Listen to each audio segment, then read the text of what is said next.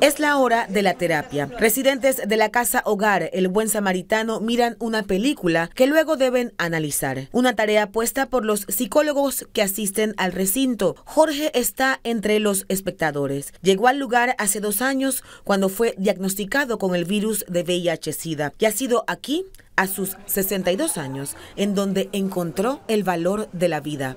No tratan bien, pues. No dan amor, no dan cariño ¿Cómo le voy a decir? La vida es valiosa. La, vida que nosotros estamos son valiosas. Por supuesto. Bueno, por cualquier enfermedad no se pueda echar para atrás. Así es. Hay que enfrentarlo. Y aprendí a enfrentarlo.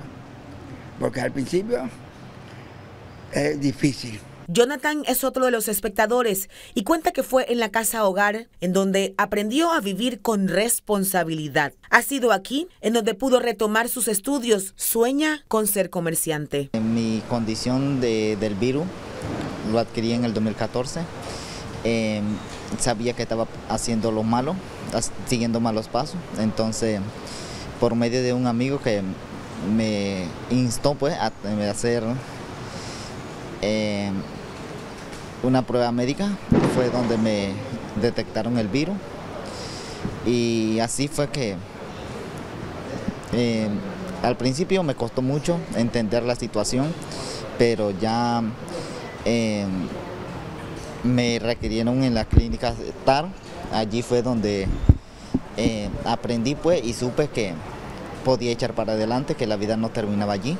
Eh, me han tratado muy bien, la oportunidad que se me abrieron las puertas de seguir estudiando, he estado estudiando. Y como Jonathan y Jorge, son decenas de historias de ciudadanos que se enfrentan a esta condición y al estigma. La atención psicológica aquí se enfoca mucho también en ir a sus pasados porque el VIH no es algo que necesariamente la gente dice se, se, lo buscaron, pero cuando tú llegas al pasado te das cuenta de que tuvieron un pasado de abuso, de abandono, eh, y abuso de todos los tipos, ¿ah? psicológico, físico, sexual, y al final terminaron en calle por alguna razón.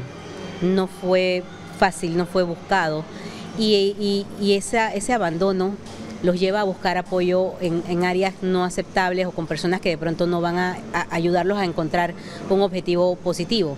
Muchos de ellos abandonan la escuela eh, en grados, tercer grado, segundo grado, el máximo llegan aquí a octavo y son personas muy inteligentes. Viven de donaciones y en muchas ocasiones el escenario se dificulta ante la falta de ingresos fijos para seguir dando la atención integral a sus residentes y visitantes. Todo la necesidad de medicamentos, en insumos de medicamentos, porque la mayoría de la población de nosotros es no asegurada.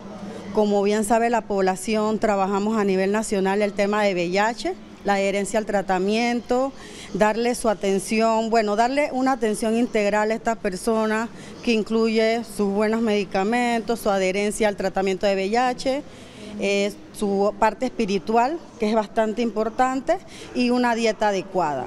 Entonces sí, necesitamos muchos insumos en medicamentos, alimentos secos, porque también tenemos una población externa de 150 personas a la que le complementamos todos estos productos, estos alimentos que nos dan, nosotros complementamos las bolsas, le adicionamos todo lo que nos llegue. Son dos décadas de ayuda, apoyo y cuidado a quienes en ocasiones hasta sus familiares rechazan. La casa hogar, el buen samaritano, les devuelve la esperanza de vivir. Viola Guevara, Telemetro Reporta.